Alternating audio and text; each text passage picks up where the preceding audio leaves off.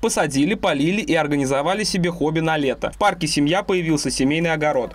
Организаторы установили специальные грядки, чтобы сажать сельскохозяйственные культуры. Такая инициатива пришлась по душе многим. Посадить перец, морковь и помидоры пришли целыми семьями, от мала до велика.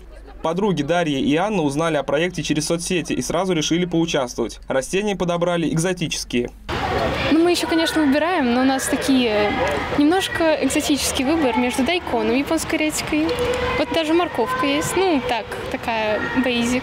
Девятилетний Андрей – один из самых маленьких участников проекта. На грядке парень пришел с мамой и бабушкой. Сажают капусту и морковку. Капусту сажаю. Идея пришла просто, чтобы посадить капусту и потом есть, э, чтобы бабушка сварила суп из нее. Главное условие участия – регулярно ухаживать за посаженными овощами. Проект имеет благотворительную и социальную основу, так как грядки в парке предоставили ульяновцам безвозмездно. Родители с детьми, когда приходят в парк, они не просто э, сидят на скамейке и ребенок гуляет, да, а вместе с ним здесь могут что-то поделать. Что-то поделать – это огород.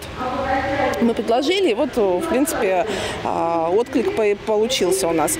На начальном этапе проекта участвуют 14 семей. В дальнейшем планируется увеличивать количество грядок и участников, а также открыть такие зоны в других парках. А с условиями участия можно ознакомиться в группе дирекции парка ВКонтакте. Кирилл Савосин, Геннадий Бухтаяров, Управда ТВ.